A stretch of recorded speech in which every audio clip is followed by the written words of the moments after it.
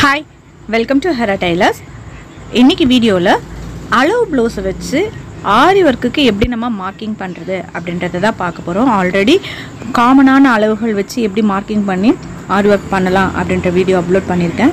இந்த வீடியோவில் வந்து பார்த்திங்கன்னா அவங்கவுங்க அளவு ப்ளவுஸில் எப்படி மார்க் பண்ணுறது அப்படின்றத பார்க்கலாம். முதல்ல ப்ளவுஸ் வந்து எடுக்கும்பொழுது நல்லா அயன் பண்ணி எடுத்துக்கோங்க. சுருக்கங்கள் இருக்கக்கூடாது. ஃபஸ்ட்டு பேப்பர் பேட்டர்னில் போட்டுட்டு அதுக்கப்புறமா அந்த பேட்டர்னை ப்ளவுஸில் வச்சு நம்ம மார்க் பண்ணிக்கலாம். இப்போ கீழே வந்து பார்த்திங்கன்னா ஒரு ஒன் இன்ச் இருக்கிற அளவுக்கு ஃபஸ்ட்டு ஒரு கோடு போட்டிருக்கேன். ப்ளவுஸை பாதியாக மடிச்சிருக்கேன். ஷோல்டர்லேருந்து இப்படி வச்சுட்டு பாதியாக மடித்து அந்த கோட்டுக்கு மேலே கரெக்டாக அந்த ஃபோல்டிங் பகுதியும் நம்ம மடிச்சிருக்க அந்த துணியோட ஃபோல்டிங் பகுதியும் ஒன்றா இருக்கும் பேப்பரோட ஃபோல்டிங்கும் துணியோட ஃபோல்டிங்கும் ஒன்றா இருக்கணும். இப்போ நம்ம என்ன பண்ண போகிறோம் அப்படின்னா மேலே ஷோல்டர் வருது இல்லையா? ஈவனாக வச்சுக்கோங்க. ஈவனாக வச்சுட்டு கரெக்டாக இந்த இடத்து அதுக்கப்புறம் மேலே ஒரு ஒரு சென்டிமீட்டர் மேலே. ரெண்டு மார்க்கிங் பண்ணிடணும். அதுக்கப்புறம் வந்து பார்த்திங்கன்னா கழுத்தளவு. கழுத்து வந்து இப்போ இதில் ஃபினிஷ் பண்ணியிருக்கு அதனால் ஒரு கால் அளவு மின்ன. அகலத்தில் கால் அளவுக்கு மின்ன மார்க் பண்ணிக்கணும். அதுக்கப்புறம் உயரம் வந்து பார்த்திங்கன்னா நம்ம இஷ்டம் தான் நீங்கள் எந்த அளவு நெக் வைக்க போகிறீங்களோ ஒரு சிலர் வந்து கொஞ்சம் கம்மி பண்ணணும்னு நினச்சா கம்மி பண்ணிக்கலாம். இல்லை இன்னும் கொஞ்சம் அதிகம் உயரம் அதிகமாக்கணும்னு நினச்சா அதிகப்படுத்திக்கலாம். நீங்கள் எந்த ப இடத்துல பண்ணணும்னு நினைக்கிறீங்களோ அதை விட ஒரு காலளவு மேலே மார்க் பண்ணிக்கோங்க. அதே மாதிரி ஷோல்டர் எந்த இடத்துல முடியுதோ அதை விட ஒரு காலளவு தள்ளி மார்க் பண்ணிக்கோங்க.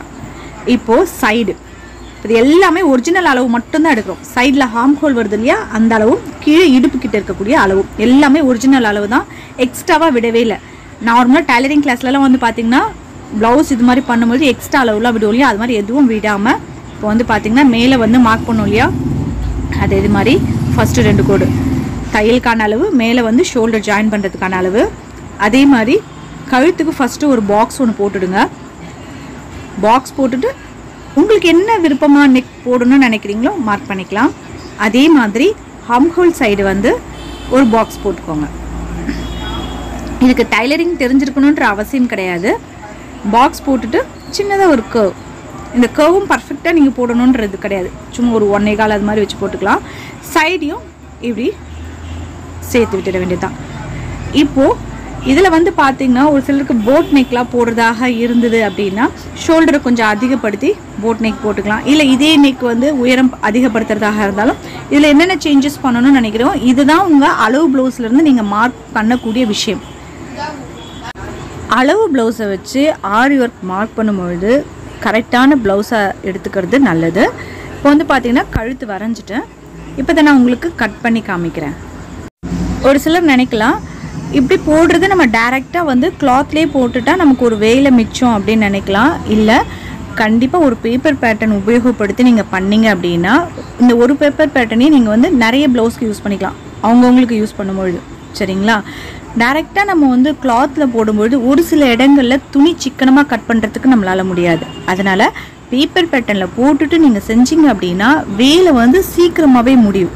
இல்லைன்னா ஒரு சில இடங்களில் மார்க்கிங் வந்து பார்த்திங்கன்னா ஒன்று ரெண்டு மார்க்கிங் வந்து எந்த மார்க்கிங்கில் நம்ம போடுறது அப்படின்ற கன்ஃபியூஸ் ஆகும். அதனால் பேப்பர் பேட்டர்னை பயன்படுத்தி பண்ணுறது நல்லது.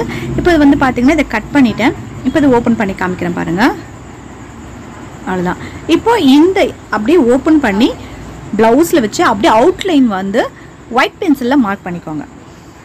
ஒயிட் பென்சிலில் மார்க் பண்ணிவிட்டு நீங்கள் வந்து ஸ்டிச் பண்ண ஆரம்பிச்சிட வேண்டியது தான் இப்போ இதில் என்ன பண்ணோன்னா பாதியாக ஃபோல்டு பண்ணிவிட்டு இதை அப்படியே திருப்பி இப்போ வந்து இப்படி திருப்பணும் அப்படின்னு பார்த்தீங்கன்னா நமக்கு ஃப்ரண்ட்டோட ரைட் ஹேண்ட் சைடு மாதிரி வந்துடும் அதே ஷோல்டர் தான் கழுத்தோட அகலம் அதே தான். ஆனால் கழுத்தோட நீளம் மட்டும் கொஞ்சம் கம்மி பண்ணிக்கணும்.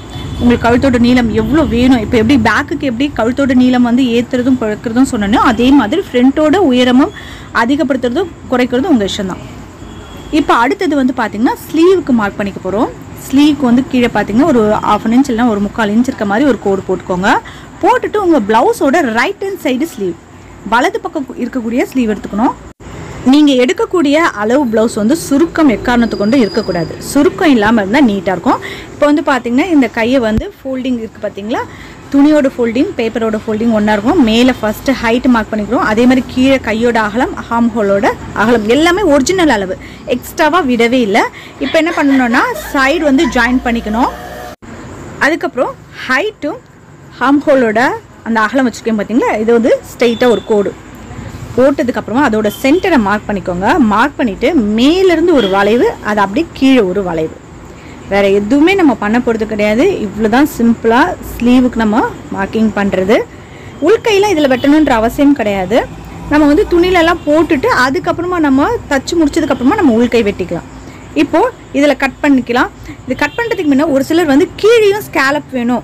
கீழே டிசைன் வேணும் அப்படின்னு நினைக்கிறவங்க இது மாதிரி கூட நீங்கள் மாடல் கொடுத்துக்கலாம். இப்போ வந்து பார்த்தீங்கன்னா கீழே இருந்து மேலே இப்படி மாதிரி ஒரு கர்வ் கொடுக்குறேன் இல்லையா? இப்போ இதை கட் பண்ணி காமிக்கிறேன். அந்த டிசைன் எப்படி இருக்குன்றதை பாருங்கள் ஏன்னா ஒரே மாதிரி ரவுண்டாகவே இல்லாமல் கீழே வந்து ஸ்கேலப் ஆகவோ இல்லை இந்த மாடல்லையும் நம்ம வந்து ஆரி ஒர்க் பண்ணும்போது இன்னும் லுக் ரொம்ப பார்க்க அழகாக இருக்கும்.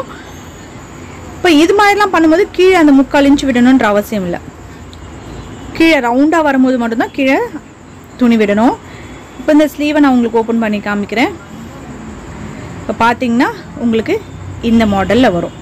இப்படியும் பண்ணிக்கலாம். இல்லை ஸ்கேலப் வைக்கணும் அப்படின்னு நினச்சிங்கன்னா நீங்கள் வளையல் வச்சு ரவுண்டு கூட நீங்கள் கொடுத்துக்கலாம். நல்லாயிருக்கும் ஒர்க் பார்க்குறதுக்கு. ரொம்ப சிம்பிள் தான். இந்த மெத்தடில் கண்டிப்பாக நீங்கள் ட்ரை பண்ணி பாருங்கள் ஃப்ரண்ட்டுக்குன்னு தனியாக ஒரு பேட்டன் போட வேண்டிய அவசியம் கிடையாது. பேக்கும் ஸ்லீவும் இருந்தாலே பேக் வச்சு நீங்கள் ஃப்ரண்ட்டுக்கு போடலாம். இந்த வீடியோ உங்களுக்கு ஈஸியாக புரிஞ்சிருக்கும் அப்படின்னு நினைக்கிறேன். இந்த வீடியோ உங்களுக்கு பிடிச்சிருந்ததுன்னா ஒரு லைக் பண்ணுங்கள் உங்கள் ஃப்ரெண்ட்ஸோட ஷேர் பண்ணுங்கள் தேங்க்யூ